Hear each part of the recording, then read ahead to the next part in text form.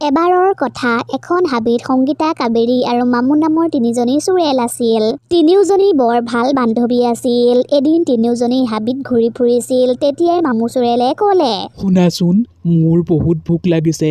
ব'লা আমি গাঁৱলৈ গৈ কিবা এটা খাওঁগৈ। তুমি এইবোৰ কি কৈছা মামু? আমি কেনেকৈ নিৰ্দোষী মানুহবোৰক মাৰিব পাৰোঁ? কাবেৰীয়ে ঠিকেই কৈছে মামু। আমি নিৰ্দোষী মানুহবোৰক মাৰিব নোৱাৰো। আমি ইমান বেয়া নহয়। মামু চোৰেলে দুয়োজনী বান্ধৱীৰ কথা শুনিলে আৰু খঙত ক'লে কিয় নামাৰিম তেওঁলোকক? এজনী গৰ্ভৱতী মহিলাক বচাবলৈ গৈ আমাৰ মৃত্যু হ'ল। কিন্তু গাঁৱৰ মানুহবোৰে আমাৰ মৃতদেহ কেইটা নচলেই। আমাৰ মৃতদেহ কেইটা যদি তেওঁলোকে অন্তিম সৎকাৰ কৰিলেহেঁতেন তেতিয়াহ'লে আজি আমি এনেকৈ ঘূৰি ফুৰিব লগা নহ'লহেঁতেন। মামু তুমি ইমান খং নকৰিবা। এয়া আমাৰ ভাগ্যত লিখা আছিল। সেইবাবে আমাৰ লগত এনেকুৱা হ'ল। তাৰ পাছত দুয়োগৰাকী বান্ধৱীয়ে মামুক বুজাবলৈ ধৰিলে আৰু মামুৱেও বুজি পালে। তাৰ পাছত সিহঁত তিনিওজনীৰ বহুত ভোক লাগিল আৰু সিহঁতে খাদ্য বিচাৰি ঘূৰি ফুৰি এজোপা গছৰ তলত পালেহি। তেতিয়াই সিহঁতে দেখিলে যে এজনী সৰু ছোৱালীয়ে তাতে ৰৈ কান্দি আছে। আৰে বাহ! পাই গলো মোৰ চিকাৰ মামু তুমি এইবোৰ কি কৈছা? সৰু ছোৱালীজনীলৈ তোমাৰ বেয়া লগা নাইনে আমি তাইক সহায় কৰিব লাগিব। তেতিয়াই সংগীতা চোৰেল আৰু কাবেৰী চোৰেলে ধুনীয়া ছোৱালীৰ ৰূপ ল'লে আৰু সৰু ছোৱালীজনীক ক'লে মাইনা তুমি ইয়াত অকলে অকলে কি কৰি আছা? মোৰ খুৰা খুৰীয়ে ইয়াত মোক থৈ গৈছে আৰু তেওঁলোকে মোক ইয়াতে ৰৈ থাকিবলৈ কৈছে। তেওঁলোকে বোলে মোক ইয়াৰ পৰা আহি লৈ যাবহি। মামু চোৰেলে তাতে ৰৈ সকলোবোৰ কথা শুনি আছিল আৰু তেতিয়াই তাইও এজনী ধুনীয়া ছোৱালীৰ ৰূপ ল'লে আৰু ছোৱালীজনীক ক'লে তুমি চিন্তা নকৰিবা তোমাৰ খুৰা খুৰী যেতিয়ালৈকে নাহে তেতিয়ালৈকে আমিয়ে তোমাক চোৱা চিতা কৰিম। মামু চোৰেলৰ কথাখিনি শুনি দুয়োজনী চোৰেল বান্ধৱীয়ে বহুত ভাল পালে আৰু তিনিওজনী মিলি ছোৱালীজনীক চোৱা চিতা কৰিবলৈ ধৰিলে। এদিনৰ কথা।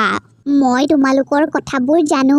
তোমালোক তিনিওজনী চোৰেল হয়। ছোৱালীজনীৰ কথাটো শুনি তিনিওজনী চোৰেল আচৰিত হৈ গ'ল আৰু সিহঁতে বুজিব পৰা নাছিল যে আচলতে ছোৱালীজনীয়ে সিহঁতৰ কথাবোৰ কেনেকৈ গম পায়। তেতিয়াই ছোৱালীজনীৰ গাৰ পৰা এটা ৰশ্মি ওলালে আৰু ছোৱালীজনী এজনী দেৱীমা হৈ গ'ল আৰু ক'লে মই জানো তোমালোক তিনিওজনী বহুত ভাল হয় সেইবাবে মই তোমালোকক বৰদান দিব বিচাৰিছো যাতে তোমালোকে মানুহবোৰক সহায় কৰিব পাৰা। কোৱা তোমালোকক কি বৰদান লাগিব? কথাটো শুনি তিনিওজনী চোৰেল সুখী হৈ গ'ল আৰু ক'লে তেতিয়াহ'লে আপুনি মোক এইটো বৰদান দিয়ক যে য'তেই মই যি খাবলৈ বিচাৰোঁ সেইটোৱে যাতে মই খাব পাৰোঁ। মই বিচাৰোঁ আপুনি মোক শক্তি দিয়ক। আপুনি মোক ৰূপ সলাব পৰা বৰদান দিয়ক যাতে আমি গোটেই দিনটো মানুহৰ ৰূপত থাকিব পাৰোঁ। তিনিওজনীৰ কথাখিনি শুনি দেৱীমায়ে সিহঁতক বৰদান দিলে আৰু ক'লে তোমালোকে মানুহক সহায় কৰা তোমালোকৰ জীৱনৰ এইটোৱেই উদ্দেশ্য।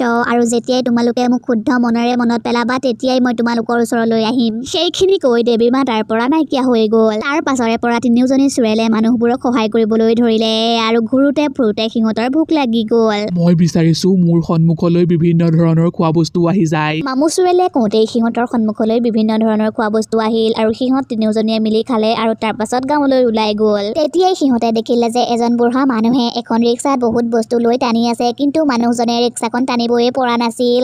তেতিয়াই কাবেৰী চোৰেলে তাইৰ শক্তিৰে বুঢ়া মানুহজনক সহায় কৰিলে। মাইনা তোমালোকক বহুত বহুত ধন্যবাদ। বুঢ়া মানুহজনে সিহঁতক বহুত আশীৰ্বাদ দিলে আৰু সিহঁত তিনিওজনী আৰু আগবাঢ়ি গ'ল। তেতিয়াই সিহঁতে দেখিলে যে এজন মানুহে তেওঁৰ পত্নীক খুব মাৰি আছে।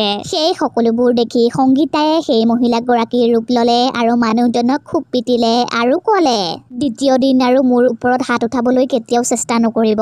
মানুহজনে একোৱেই ধৰিব পৰা নাছিল যে তেওঁৰ পত্নীৰ নিচিনা আৰু এজনী মহিলা ক'ৰ পৰা আহিল। সেইবোৰ ভাবি তেওঁ অচেতন হৈ পৰিল আৰু তেতিয়াই সংগীতা চোৰেলে মহিলাগৰাকীক ক'লে আনৰ পৰা কেতিয়াও মাৰ নাখাবা নিজেই সাৱধান হৈ চলিবা। তাৰ পাছত সিহঁত তিনিওজনী তাৰ পৰা গুচি আহিলে আৰু ৰাতি হোৱাৰ লগে লগেই সিহঁত তিনিওজনী হাবিলৈ গুচি আহিলে আৰু সিহঁত তিনিওজনী নিজৰ আচল চোৰেলৰ ৰূপলৈ আহিল। তেতিয়াই সিহঁতক গাঁৱৰ এজন মানুহে দেখিলে আৰু গাঁৱলৈ গৈ গাঁৱৰ মানুহবোৰক সিহঁত তিনিওজনী চোৰেলৰ কথাবোৰ মিছামিছিকৈ ক'লে। পিছদিনা তিনিওজনী চোৰেলে আকৌ ছোৱালীৰ ৰূপ লৈ গাঁৱলৈ কথা পাতি পাতি আহি আছিল। মানুহবোৰক সহায় কৰি কিন্তু বৰ ভাল লাগিছে। তুমি ঠিকেই কৈছা সহায় কৰাৰ লগতেই কিন্তু ভাল ভাল খাদ্যও খাবলৈ পাইছো। মামু চোৰেলৰ কথা শুনি দুয়োজনী চোৰেল বান্ধৱীয়ে হাঁহিবলৈ ধৰিলে আৰু গাঁৱৰ ফালে আগবাঢ়ি গ'ল। সিফালে গাঁৱৰ মানুহবোৰে তিনিওজনী চোৰেলক ধৰিবলৈ এজন সাধু বাবাক মাতি আনিছিল। যেতিয়াই সিহঁত তিনিওজনী গাঁৱলৈ সোমালে তেতিয়াই এটা ঘৰৰ পৰা কোনোবাই কন্দাৰ শব্দ শুনিলে আৰু সিহঁত তিনিওজনী সহায় কৰিবলৈ গ'ল। তেতিয়াই সাধু বাবাজনে সিহঁত তিনিওজনীকে বান্ধি দিলে আৰু তেতিয়াই সিহঁত তিনিওজনীয়ে সহায়ৰ বাবে দেৱী মাক মনত পেলালে। এতিয়াই তালৈ দেৱী মা আহিলে আৰু দেৱী মাক দেখি সকলোবোৰ আচৰিত হৈ গ'ল আৰু দেৱী মায়ে ক'লে ময়ে এওঁলোকক বৰদান দিছিলো যাতে এওঁলোকে গাঁৱৰ মানুহবোৰক সহায় কৰিব পাৰে কিন্তু আপোনালোকে একো নজনাকৈয়ে এনেকুৱা কৰিলে। মোক ক্ষমা কৰি দিয়ক গাঁৱৰ মানুহবোৰে কোৱাতহে মই ইয়ালৈ আহিছিলোঁ। সেইবোৰ দেখি গাঁৱৰ মানুহবোৰে সিহঁতে কৰা ভুলটো বুজি পালে আৰু তাৰ পাছত তিনিওজনী চোৰেল আৰু দেৱী মাক ক্ষমা খুজিলে। তাৰ পাছৰে পৰা গাঁৱৰ মানুহবোৰে সেই তিনিওজনী চোৰেলক বহুত মৰম কৰে আৰু যেতিয়াই কাৰোবাৰ ঘৰত কিবা অসুবিধা হয় তেতিয়াই সেই মানুহ ঘৰে তিনিওজনী চোৰেলক মনত পেলায় আৰু তিনিওজনী চোৰেল আহি সেই মানুহ ঘৰক বহুত সহায় কৰে।